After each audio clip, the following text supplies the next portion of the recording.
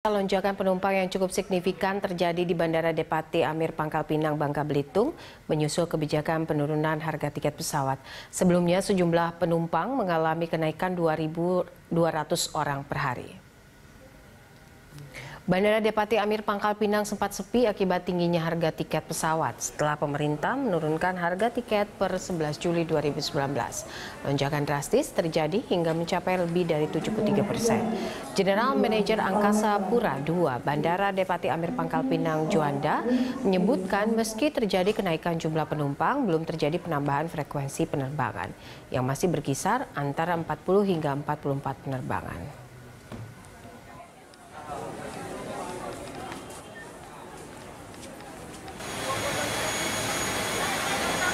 Dari Menko Perekonomian ya itu menginformasikan kalau misalnya Selasa Kamis Sabtu itu ada harga-harga tiket promo. Nah di debat di Amer sendiri semenjak kebijakan itu ya kebijakan harga tiket yang sekarang kita pantau memang sudah ada penurunan harga tiket. Alhamdulillah memang peningkatannya drastis luar biasa dari hari biasa yang kita biasanya hanya kemarin kena tiket tinggi itu hanya sekitar 3.000 penumpang sekarang kita tiap harinya penumpang itu minimal 5.200, 5.300 sekarang sudah mulai setiap hari paling rendah 5.200 706 ribu. Jadi memang sangat signifikan. Pemirsa demikian